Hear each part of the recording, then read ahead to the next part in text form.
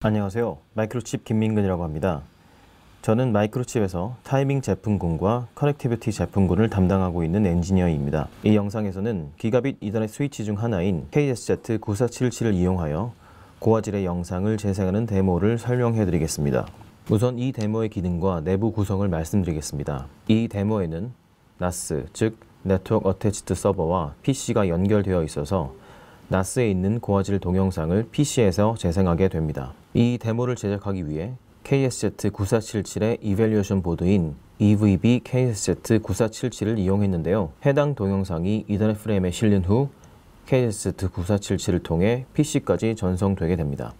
이 evaluation 보드의 가장 중요한 구성 요소는 KSZ9477입니다. 모든 포트가 기가빗 스피드를 지원하는 7포트의 이더넷 스위치입니다. 조금 더 상세한 사항은 잠시 뒤에 설명드리겠습니다. 또한 이 evaluation 보드에는 SAMA5D3라는 MPU가 탑재되어 있습니다. ARM Cortex A5 프로세서를 기반으로 하고 있고 536MHz까지 지원합니다. 물론 리눅스 등의 OS를 올릴 수 있습니다. DDR2, LPDDR, LPDDR2 및 MLC 낸드 플래시 메모리를 지원하고 이 evaluation 보드에는 256MB의 DDR2 SDRAM과 256MB의 낸드 플래시 메모리가 올라가 있습니다. EVB KSZ9477은 상위망과 하위망으로 연결 가능한 네트워크 인터페이스가 있습니다.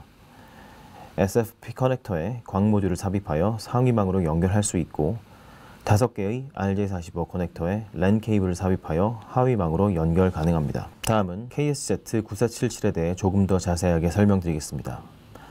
7포트의 이더넷 스위치이므로 gigabit를 지원하는 GMAC이 7개가 있고요. 빨간색 박스에서 보실 수 있듯이 내부에 5개의 이더넷 PHY까지 내장되어 있습니다. 따라서 외부에 별도의 PHY를 사용하실 필요가 없어서 훨씬 더 간결하게 시스템 설계를 하실 수 있습니다. KSZ9477에서 uplink 포트는 GMAC 6과 GMAC 7입니다. GMAC 6은 RGMII, MII, RMII 인터페이스 중 하나의 인터페이스를 선택할 수 있고 호스트 혹은 다른 이더넷 스위치를 연결할 때 사용됩니다. GMAC 7은 SGMII 인터페이스를 지원하고 광 모듈을 직접 연결하거나 다른 이더넷 스위치 혹은 호스트에 연결할 수 있습니다. 또한 KSZ9477은 SPI, I2C, MIIM 등 다양한 인터페이스를 지원합니다. 이때 주의하실 점은 SPI나 I2C 인터페이스를 사용하실 때에는 KSZ9477의 모든 레지스터에 접근할 수 있는 반면 MIIM 인터페이스를 사용하시게 되면 PHY의 레지스터에만 접근할 수 있습니다. 마지막으로 KSZ9477은 IEEE 1588 버전 2 PTP 즉 precision time protocol을 지원하므로 네트워크 상에서 정밀하게 시간 동기화를 하실 필요가 있을 때 사용하실 수 있습니다.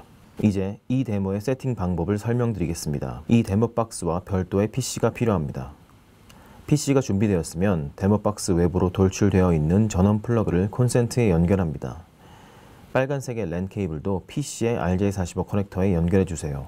EVB KSZ9477과 NAS는 이미 세팅되어 있으니 별도의 작업을 하지 않으셔도 됩니다.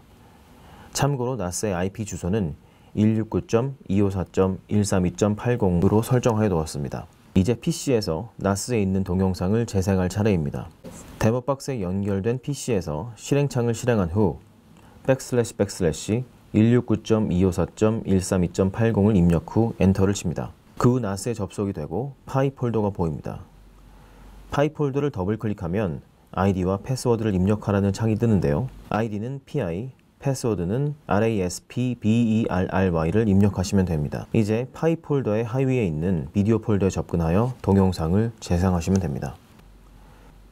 지금까지 기가빗 이더넷 스위치 고화질 영상 전송 데모에 대해 말씀드렸습니다.